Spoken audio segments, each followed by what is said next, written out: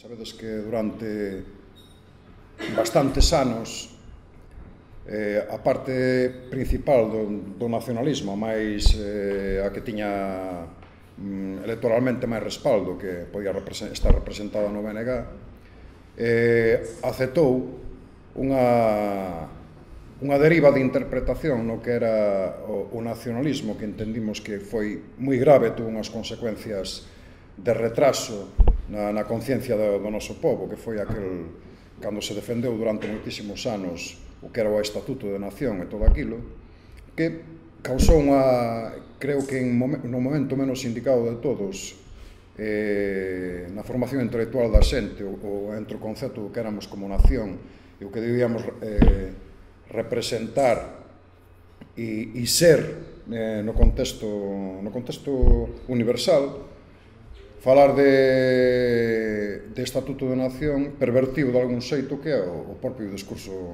do nacionalismo, non? cando realmente aquí eh, do que hai que falar é o de soberanía ou de independencia. Vamos a ver, e así, con toda claridade e rotundidade, e eu vou a preten, eh, pretendo que mm, un pouco nesta charla que declaro cales son os, os conceptos e realmente cales, cales son eh, cal debe de ser para nós como povo, como, como nación sin Estado, eh, o, o percorrido que debemos de dar e, e, e cal é exactamente a, a nosa posición eh, en calquer concerto a nivel europeo ou mesmo mundial. Mirar, creo que non se pode entender decir, o debate dentro da Unión Europea o que significa Galiza como nación sin Estado sin soberanía, sin capacidade de decidir sobre os seus recursos, sobre os seus medios, sobre as súas leis, sean da natureza que sea. Eh, se non entendemos que a Unión Europea, como decía César, se crea, non é reciente, ten toda unha historia detrás, eh, pero se crea cunha única finalidade. E é unha finalidade de clase, é dicir, de concentración de poder para unha clase determinada, unha élite eh, do capitalismo, porque hoxe o sistema que domina o mundo eh, é o capital, o capitalismo, o planeta, é por primeira vez na historia eh, da humanidade. O único sistema que é capaz de ter unha dimensión global que está prácticamente en todas as en todos os continentes e en todos os países eh, do planeta e, e ademais é o sistema que ao largo destes anos, é dicir, de toda a historia da humanidade, foi capaz de sobrevivir eh, durante tantísimo tempo, eh, porque é o sistema máis contemporáneo de todos, é o máis, o máis presente e o máis actual. E, e iso lle dá unha, unha serie de ventaxas eh, foi capaz ao largo de, de, de todos estes anos, desde que eh, eh, se foi implantando eh, de utilizar no seu propio beneficio os recursos maiores que pode ter a humanidade, que é a sabiduría, que é eh, a tecnoloxía, que é a información, absolutamente todos os medios que creamos e se crean coa forza do traballo, porque non hai outra fonte de riqueza que non sea esa, eh? Eh, se apropia o capital en beneficio de, de si sí mesmo como sistema. Entonces, o capital ten unha naturaleza. Eu creo que non se pode analizar de maneira eh, distinta nin de outra forma que non sea desde eh, un análisis marxista. Eu digo claramente porque senón non entenderíamos que, que representa isto como sistema no? e, que, e, que, e que finalidade ten. E, e o marxismo, ademais, analiza o capitalismo de unha maneira científica, como non, analiza, non é capaz de analizarlo ningunha outra filosofía. Maneira científica eh, do xeito se, eh, seguinte. Inter, entende que o capitalismo é un sistema de organización económica, organización económica que ten un dinamismo, é dicir, nunca está parado, non está quieto, evoluciona, e nesa evolución, eh, usando todos os medios que crea a humanidade, para o seu propio beneficio, é capaz de concentrar a riqueza, pero esa concentración de riqueza que fai, eh, esa acumulación, esa eh, propulsión de riqueza que crea, ao mesmo tempo que fai a concentrala, e o estamos vendo na súa propia natureza, que cada vez a concentra en menos mans, nunha élite cada vez máis selectiva do que é o universo, do que é a, a sociedade, do que é o mundo, eh? en menos xente, e ten unha enorme contradición como sistema, que é que crea riqueza como ningún outro sistema anterior, pero ao mesmo tempo que crea riqueza é capaz de crear a máxima e exponencial pobreza en todo o resto da, da humanidade. Na mesma medida en que crea riqueza e é selectiva e beneficia a uns poucos, cada vez deixa na... Eh, deixa na, na, na marginalidade, fora desa riqueza, a un maior número de personas en toda a Terra.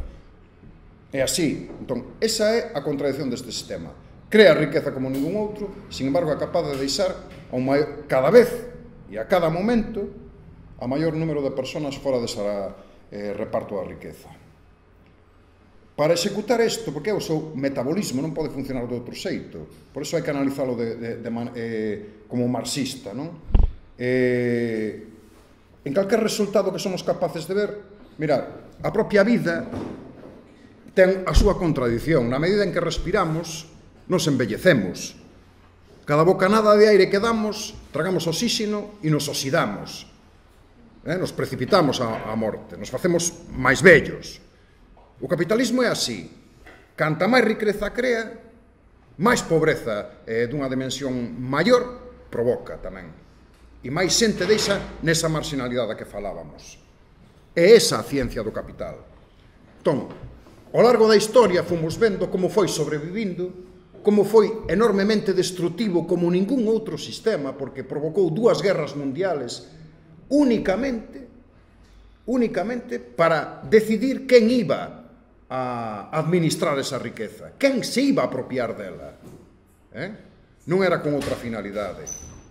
Entonces, a partir de ahí, eh, de, desde diferentes respostas, o que se crea eh, a nivel europeo, porque é unha resposta do capital europeo a outros bloques de poder que existen no mundo e no planeta, como pode ser o bloque que concentra Estados Unidos, Canadá, fundamentalmente, e, e, e a, a parte eh, de Asia con os países eh, de capitalismo máis avanzado, Xapón entre eles a cabeza, pero fundamentalmente o que se ven a decidir é iso, a Unión Europea responde, a, obedece a eso, a concentración de capital. Pero para concentrar o capital hai que concentrar o poder. É dicir, quen administra o poder, quen quere decidir que reglas e que política hai que facer para apropiarse desa riqueza, necesita o poder. E o poder se crea por a humanidade e se crea localizada en sitios concretos. Nós somos unha nación, eh, creamos a nosa riqueza e a nosa riqueza estuvo sempre prácticamente e históricamente gobernada por o Estado e en determinado momento o capitalismo español decide que entra na Unión Europea como moitísimos outros países para eh, eh, desde aí utilizar todo o que significa esa rede para aproveitarse e, e, e, e darlle esa velocidade que necesita o capital. Entón, primeiro, a Unión Europea significa algo. Significa que eh, non hai posibilidade de cambiar a Unión Europea en beneficio dos povos e, e, e da xente que habita cada un dos seus povos non hai esa posibilidade de modificar a Unión Europea. A Unión Europea nunca será máis social, nunca terá esa condición, nunca terá esa finalidade, porque a Unión Europea o que representa é a concentración de poder para beneficio de uns poucos, cada vez menos. As nacións en Estado, como o noso caso, nunca terán posibilidade, non nos van a deixar decidir por nós mesmos, porque a nosa posibilidade de ter soberanía e decidir sobre os nosos recursos, sobre o reparto da riqueza que é o fundamental na creación eh, de un Estado e da soberanía dun povo, eso non nos lo van a permitir nunca. Entonces, eu son dos que creo que eh, en este momento e, e no estado que está o capitalismo non é posible só decidir eh, as condicións de vida da túa xente, da túa poboación con soberanía. Necesitamos independencia e o vamos a ver eh, posteriormente porque todo o que facemos somos capaces de fabricar, todo o que somos capaces de manufacturar, todo o que somos capaces de sembrar, de recoller, de recoletar, todo o que somos capaces de producir a través dos alimentos e das propias medicinas teñen unha eh, eh, unha utilidade concreta. Pero hai un novo capitalismo que responde ao que decía Marx como acumulación dese capital que vai a muitísima máis velocidade, que é capaz de crear máis riqueza, pero unha riqueza que non se basa nesa riqueza social. É unha riqueza moi selectiva que vai a moi poucos lugares, que queda moi poucos sitios e moi poucas personas. E é o capitalismo máis especulativo de todos, pero é o que máis acumula e a mellor velocidade de todas. E non se pode revertir, non, non se pode cambiar esa tendencia, non é posible xa. A ciencia do capital non lle dá oportunidade para volver atrás. E o vades entender. Mirar, estes 27 millóns de euros que capitaliza solamente a Bolsa de Nova York ou o Nasdaq, que é o selectivo americano, é unha parte dos 48 billóns que, que se capitalizan o ano no mercado de valores. Si vedes, o PIB da Unión Europea, o PIB do Estado Español, o orzamento total da Unión Europea anual é inferior, incluso sumados os tres conceptos, o que capitalizan o, o mercado de valores. O mercado de valores estamos dicindo que non é eh, esa riqueza que conocemos, que creamos. No, estamos falando de diñeiro que entra por un lugar e sale por outro no mesmo instante, que se moviliza todos os puñeteros días. Se vos dades de conta, un punto en calquera das bolsas, no mesmo IBEX español, que como referencia un dos mercados de, de, de valores máis pequenos, máis diminutos dentro do dentro das bolsas de, do continente europeo ou de todo o planeta. Un punto no IBEX significan eh, máis de 30.000 millóns de euros en un día. 30.000 millóns de euros. De onde sale o diñeiro para capitalizar semejante riqueza? É dicir, como é posible que en apenas poucos minutos ou en un día, unha xornada do IBEX, ese balance eh, que significa 30.000 millóns de euros, de euros se poida acumular de tal xeito e de onde sale. No? Eu poño un exemplo, se vos dades de conta, eh, a diferencia é que se aquí lográramos meter todo o diñeiro que circula nas bolsas durante un día, se, se coopera aquí neste local, en todo, non? Que non é posible, non colle aquí, pero se collera e o meteramos aquí, todo el, ese capital, que é o capital financiero máis eh, máis elevado de toda a historia da humanidade. O metemos aquí, o deixamos aquí durante un ano, eh? pechamos a porta e queda aquí, recluído. Podemos vir algún día e coller un montón e leválo para outro lado, trasladar un montón de outro sitio, leválo para outro lugar, eh? cambiar as cantidades dun lugar para outro, pero cando volveramos dentro un ano, estes 48 billóns de euros seguirían sendo 48 billóns de euros non producirían ninguna riqueza. Ao contrario. É dicir, tendrían menos valor. Né? Por a propia eh, inflación do, do diñeiro e o valor do propio diñeiro en un ano. Terían muitísimo menos valor. entonces a circulación dese diñeiro, que é unha cantidad astronómica, eh, como podedes ver comparado, eso ten que salir de algún lado. Pero o problema de todo isto é que para capitalizar isto ten que haber detrás un traballo real. O diñeiro non se inventa. Ten que haber algo que soporte estas cantidades. Entonces, para alimentar isto, para que esta cantidad cada día siga subindo unha décima, tres décimas, un punto, porque estamos de falando de cantidades astronómicas, e na medida en que isto crece cada vez, o resultado ten que ser maior. Para alimentar isto, eh? ten que haber unha riqueza real que lle dé valor a isto. E é a riqueza do traballo. É o que conocemos como capital productivo. Pero o problema está en que se esta cantidade é maior e o resultado ten que ser maior, cada vez hai que explotar máis o que é o traballo. Ten que a exigencia é que cada vez se explote máis a xente para poder satisfacer a voracidade que ten este capital. O resultado é que hai que sobreexplotar a xente no traballo, hai que apropiarse dos recursos públicos, de todo aquilo que poida ser fonte de negocio para este capital, como pode ser pois a sanidade, como pode ser o ensino, como pode ser todas aquelas parcelas de actividade que están comprometidas no público e que deben de estar destinadas únicamente a servir a xente. Isto estamos vivindo agora. ¿Mm? Entonces, isto nos explica un pouco por que non hai marcha atrás. É dicir, na medida en que o capital hoxe e os capitalistas apropian de maior cantidade de diñeiro, son máis ricos e son menos, aquí non hai retroceso posible. Para eles, a menos que sea pola forza. Pero esa é a naturaleza do capital. Entonces, administrar os tempos desto, a naturaleza deste sistema, únicamente se pode facer tendo poder para eso. Entón, tendo poder significa que hai que levar ese poder e administrar ese poder en un ámbito maior. Ti tes que someter, se é posible, a todos aqueles países, e cantos máis países mellor, que poidan estar nesa órbita.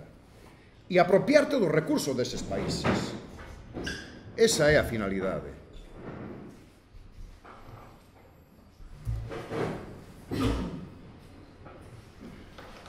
Para entender o que significa a concentración do capital, eh, o que decíamos que cada vez está depositado en menos mans, pois vos vai a dar unha idea, porque tamén nos leva á situación da Unión Europea. En 1980 había 2.700 multinacionales. É dicir, as características desas multinacionales eran financieras, aseguradoras, químicas, as que conocemos, as grandes empresas que hoxe teñen ese poder e dominan o mundo. Son os que establecen as reglas de, de como eh, sobrevive o sistema e, e, e de que xeito e cales son as fontes de riqueza das que hai que apropiarse. Pero fixarvos que en 2013 de 2.700 multinacionales solamente quedan 817 son as que deciden prácticamente todo. Os bancos, as aseguradoras, as agroalimentarias, as farmacéuticas. Eh? En Europa, na Unión Europea, destas 817 hai aproximadamente 190. Eh? Hmm? Cerca de 300 e pico, 370 ou así corresponden a Norteamérica e Canadá e o resto o, fundamentalmente a Asia. Esa é a acumulación. E esa é a concentración de poder e a concentración de riqueza. Bueno, vos sabedes que hoxe en cada sector, en cada unha destas multinacionales que vayamos, están confundidas porque moitas delas teñen diferentes actividades ao mesmo tempo. Antes, unha multinacional industrial era exclusivamente industrial e a que era farmacéutica non era máis que eso. E a que era agroalimentaria se dedicaba a isto, pero hoxe un banco, unha aseguradora participa e ten valores en cada unha destas actividades. Se cruzan Por eso é unha concentración de riqueza e de capitalismo. Eh? E este é o poder localizado en 817 multinacionales. E para asegurarse que a apropiación de riqueza de cada unha destas multinacionales no ámbito europeo se ten que facer desde un lugar concreto, hai que concentrar o poder. Entón, hai que expropiar o poder primeiro aos estados e fundamentalmente a todas aquelas nacións, como no noso caso, que non teñen nin poden decidir sobre os seus recursos, como é o caso de Galicia. Na medida en que estos cada vez son máis ricos, non somos máis pobres. Esa é a regla de tres.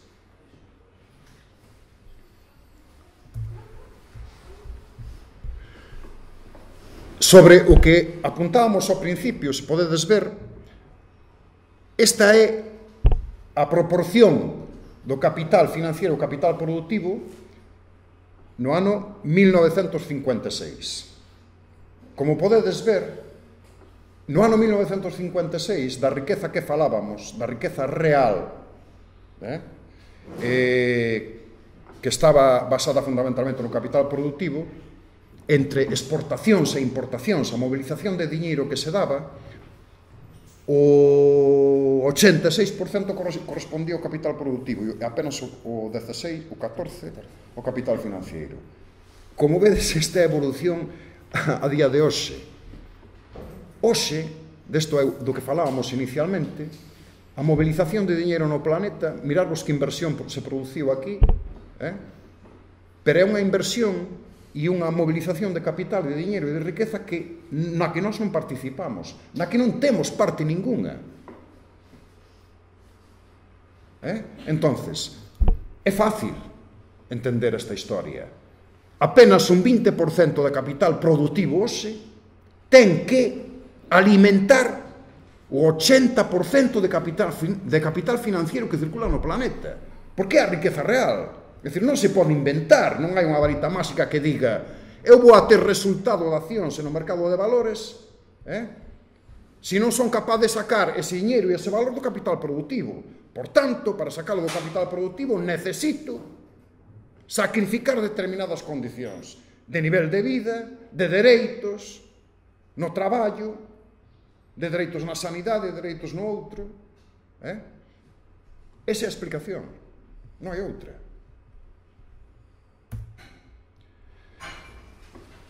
Si, nos, si baixamos o Estado, o Estado español, estes datos son moi importantes, porque ao mesmo tempo que nós aquí en Galiza eh, somos testigos de, eh, neste moi recentemente de como perdimos eh, o control sobre os nosos propios recursos eh, financeiros, que eso para unha nación como a nosa é brutal, eso vai significar un castigo tremendo na nosa economía, está xa significando e vai ter unhas consecuencias moitísimo máis eh, terribles. Fixarvos eh, como funciona e con que lógica se reproduce isto, non? Mirar.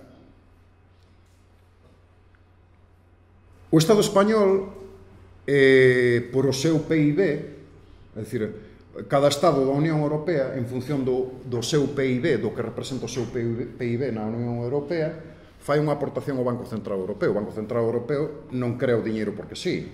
O diñeiro está avalado como, como por o patrimonio e a riqueza de cada un dos Estados. Se foran pesetas, o valor da peseta dependería da riqueza que, que crea ese Estado e responde como deudor do valor desa moneda. Porque é papel, non é ouro, nin é plata.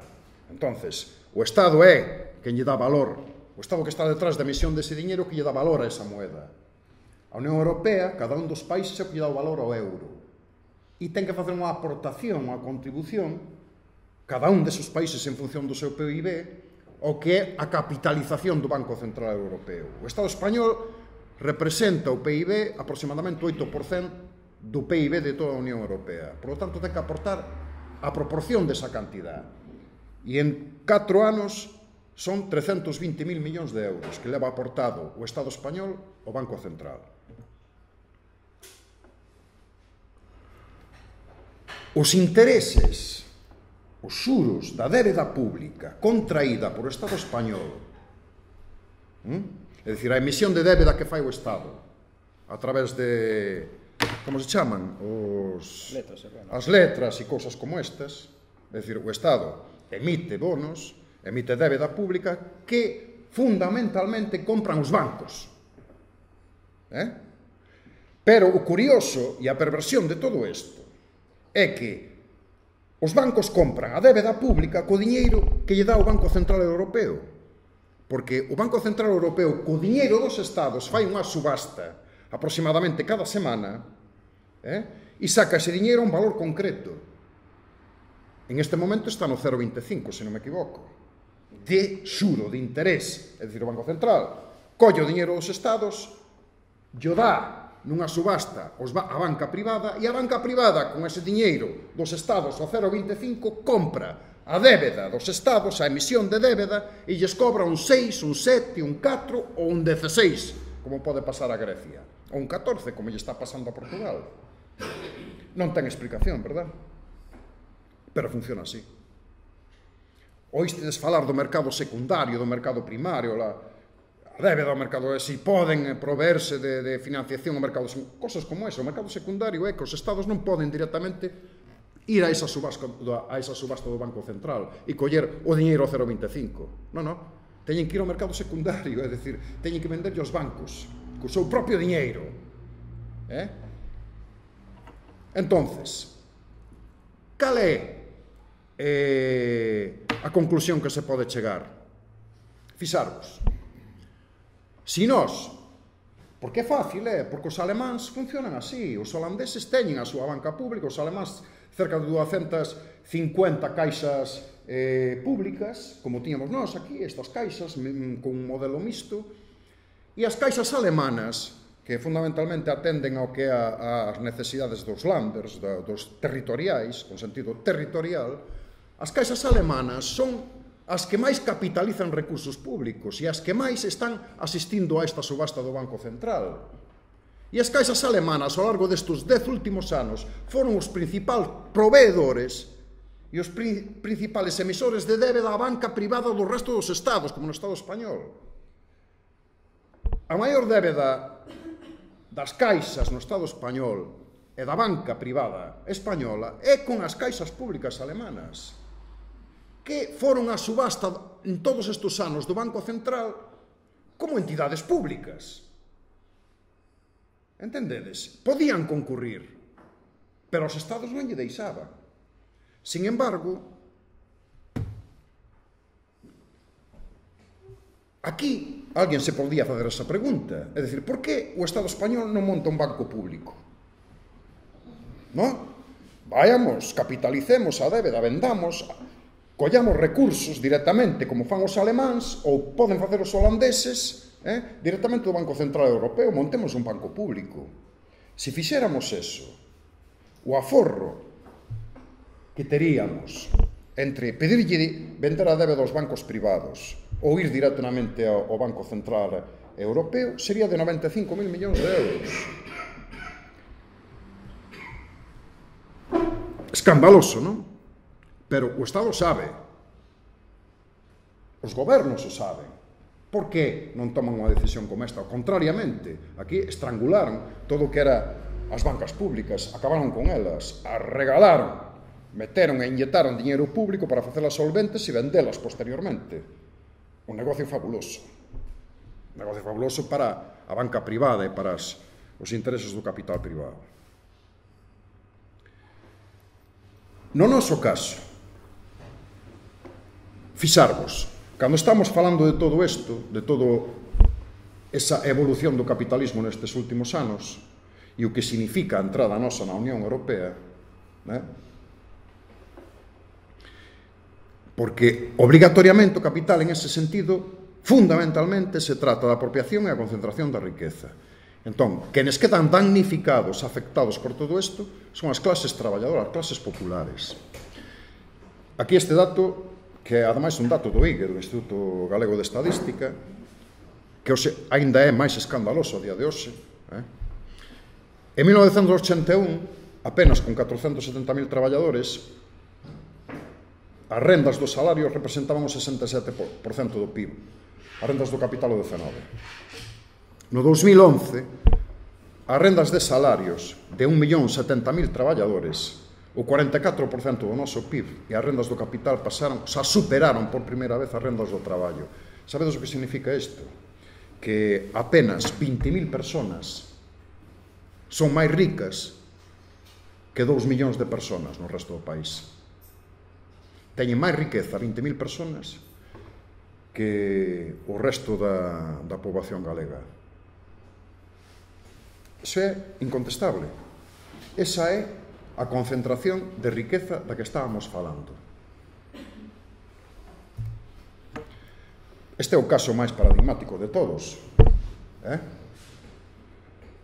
Este home. A riqueza deste home equivale a de 2 millóns. El sol. Eh? Este home representa unha das potentes e máis innovadoras multinacionales que hai hoxe no ámbito europeo. Ten algo de galego? realmente. De, eh, alguén que ademais, bueno, pois é capaz de facer, bueno, deixan aí porque total non vale a pena, como ela hai moitos. Fixarvos, nesta discusión, neste debate que se está dando sobre as reformas, sobre o déficit, eh, sobre a modificación da Constitución, como, eh, como decidiron para controlar o déficit, e, e a inversión pública a todos os efectos e en todos os conceptos. Eh, fixarvos que aquí hai un debate que se oculta, porque cando falamos da concentración de poder no capitalismo se dá a diferentes niveles. Eh? É dicir, aquí eh, antes da entrada da Unión Europea era o capitalismo madrileño, o capitalismo español, quen tiña o control político e a decisión política e gobernaba eh, eh, para o seu propio beneficio e, e en este momento eh, gran parte dese poder se traslada a Bruselas. Fixarvos que dentro do que é significativo da débeda pública, de todo este discurso envenenado que levan anos alimentando, o principal desa débeda está centralizada darnos de conta de que donde se gasta é realmente onde máis se invirte.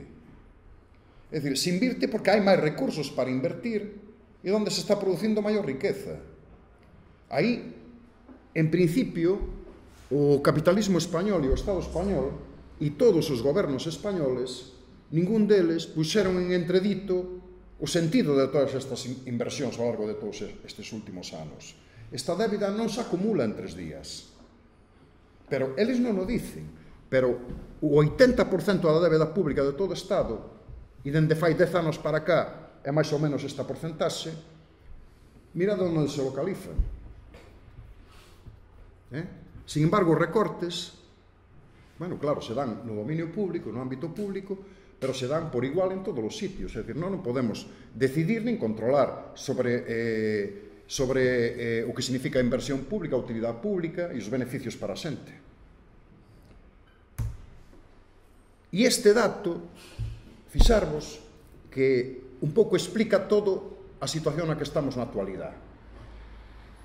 Mirar, eh, que é o peso de cada país a efectos da súa creación de riqueza, é dicir, do que é capaz de producir e do que é capaz de exportar, de vender, eh? a, a outros países ou do que outros países te vendan a ti. Son o que nos denominamos as tablas input-output, é dicir, a relación que ten de peso productivo cada país en, no, seu, no seu ámbito. Non?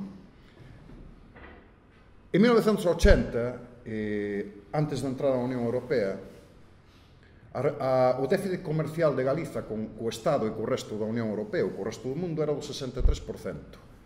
Na actualidade, ese déficit comercial é do 85%. É moito, é, porque sobre o PIB que producimos significa que apenas o 15%, apenas o 15% de todo o que somos capaces de producir e de todo o que somos capaces de consumir xa non é noso. O sea, únicamente o 15%. O 85% xa non nos corresponde a nós, nin temos soberanía sobre decidir eh, eh, sobre eses recursos. A, propor, a, a proporción de exportacións e importacións desde a entrada da Unión Europea nos, eh, eh, de Galiza na Unión Europea este é un dato todavía máis escandaloso é de 1 a 7 de, menos, de, é dicir, de menos 1 a máis 7 eso significa que todo o aparato que tiñamos e se explica claramente é dicir, aquilo que tiñamos como rede productiva é dicir, todo o que éramos capaz de producir no campo Todo o que éramos capaz de manufacturar como alimentos, na pesca, na nosa industria, na nosa rede comercial, na nosa rede de servicios, de producir, de fabricar, de vender, de manufacturar, de trasladar, hoxe se invertiu en 7 a 1. É dicir, fijarvos que a consecuencia de todo isto é que na medida en que isto, esta desproporción é máis elevada, todo o que nós temos se disminuye. Entendedes? É dicir, como entra máis do que somos capaces de vender, compramos máis e necesitamos máis do que somos capaces de vender para fora, o noso aparato productivo cada vez é menor. A todos os efectos, a efectos do, da dimensión de servicios, porque, claro, se ti non eres capaz de proveer os teus propios servicios, os teus propios recursos, os teus propios medios, O que ti eres capaz de producir porque te está entrando e o estades vendo nas grandes superficies comerciais, en, en sectores que antes controlábamos nós, que agora xa non controlamos, xa non son nosos, o que era toda a industria automóvil aquí, ela fundamentalmente, a industria auxiliar, que era a industria galega, hoxe xa está en mans estranxeiras e de multinacionais. Entendedes? É dicir, cada vez controlamos menos a nosa riqueza e as redes comerciales de, de, de produción e de exportación da nosa riqueza. Cada vez somos máis dependientes. Este é o resultado. Entonces, e remato xa. Eh, hai unha evidencia que non se pode discutir. Eh, cada vez temos menos control sobre os nosos recursos, cada vez os nosos recursos son menos competitivos, cada vez a nosa propia riqueza e a, e a, e a, e a propia eh, e a propia eh, o propio futuro da nosa xente eh, a, a, a propia a soberanía sobre decidir o que queremos, como nos queremos alimentar, que queremos producir, como queremos traballar. Cada vez temos menos competencia para eso e menos posibilidades de decidir sobre iso. Somos máis dependentes, estamos invadidos. Isto é a Unión Europea. Entón, como é un problema de clase, de reparto da riqueza, de riqueza e de pobreza, do que hai que falar, Porque sobre eso ten que decidir o propio povo. Se deciden por ti, se a decisión e o poder está localizado cada vez en un punto xeográfico máis distante do que a poboación, os destinatarios desa riqueza, esa poboación cada vez vai ser máis pobre. Eu creo que non hai ser tan inteligentes como para entender isto, é facilísimo. Aquí só hai unha posibilidade. E non é un problema de soberanía, e xa non é un problema solo, e sabedes por qué? de que eh, pensemos que nós podemos decidir sobre determinados aspectos, é que non é posible hoxe. Ser, é dicir, ter eh, un modelo de país, ainda que fóramos soberanos, pero con este sistema, é dicir, con un sistema de capitalismo, que o único que fai é repartir a riqueza desta maneira, a nós non nos valdería de nada. Non nos daría solución ao problema que temos. Por lo tanto, por eso digo que solamente se podía analizar desde o, desde o marxismo este problema, nós temos que ser independentes e, ademais, temos que modificar o sistema. Non queda outra. Porque se alguén cree que podemos ter un nivel de soberanía, nunca vamos a poder ter un nivel de soberanía aceptable porque non nos lo van a permitir, porque se trata de decidir sobre os nosos recursos e sobre a nosa riqueza. Por lo tanto, ou somos independentes e modificamos o sistema, ou estamos perdidos. Non hai, é dicir, eso é por si sí mesmo contradictorio. Entendedes? Por iso dicía que había que analizalo desde desde desde o análisis marxista, non? E nada máis, non sei se vos quedou, se o tedes así claro, pero creo que é bastante evidente.